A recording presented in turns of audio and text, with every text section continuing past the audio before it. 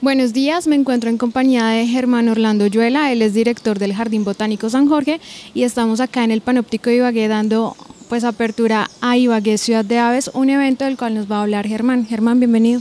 Buenos días, ¿cómo están? Bueno, Ibagué Ciudad de Aves es un proyecto que tiene eh, la alcaldía a través de la eh, Secretaría de Desarrollo Rural y la Secretaría de Turismo y junto con el Jardín Botánico San Jorge o con la Corporación San Jorge precisamente eh, logramos organizar una propuesta donde se lograra identificar eh, el número de especies que teníamos dentro del municipio de Ibagué.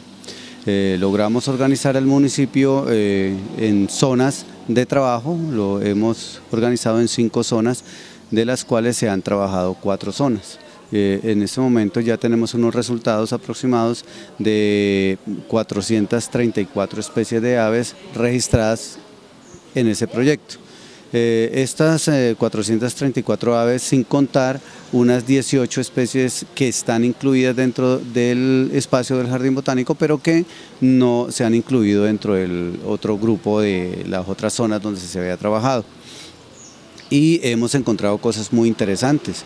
Hemos encontrado especies que están eh, en estado crítico, otras especies que son endémicas, otras especies de mm, interés para la, para la comunidad de avistadores de aves eh, y también logramos organizar e identificar unos espacios para la observación, eh, senderos, lugares que se están trabajando en este momento para la observación. Entonces eso es interesante porque vamos a tener en, en, el municipio o vamos a convertir a la ciudad, como su nombre lo dice, una ciudad de aves. Entonces vamos a convertir a la ciudad en un destino para que vengan los observadores de aves al municipio. Germán, ¿cuáles son estas zonas y estos puntos donde se han identificado pues, el, avistamiento de aves y estas especies que usted menciona? Bueno, nosotros como te dije hemos dividido la ciudad en cuatro zonas. Una de las zonas es la zona de Chembe y la zona de los arrozales, eh, Doima y eh, otra parte es acá eh, la zona del cañón del Conveima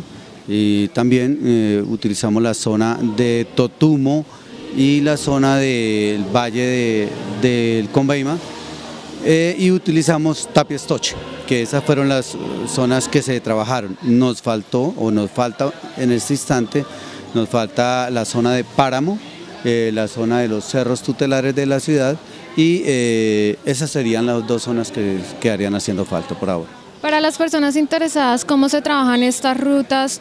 Eh, ¿Cómo se dan los encuentros? ¿Cómo hace la gente pues, para salir y pues, realizar el avistamiento de aves en Ibagué? ¿Ustedes van a dar una, digamos, un cronograma o en la página del jardín tienen ya también estipuladas unas fechas de salida?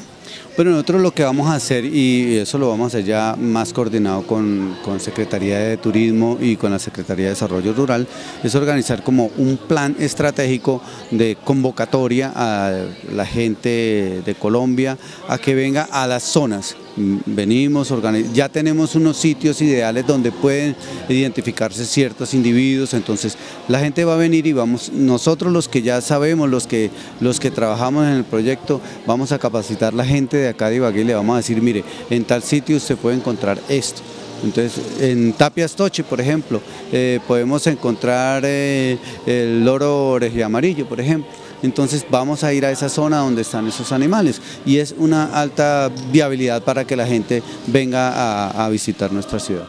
Queremos invitarlos a que vengan a la ciudad de Ibagué, conozcan nuestra ciudad, conozcan nuestras aves y conozcan los territorios donde se pueden encontrar estas grandes especies.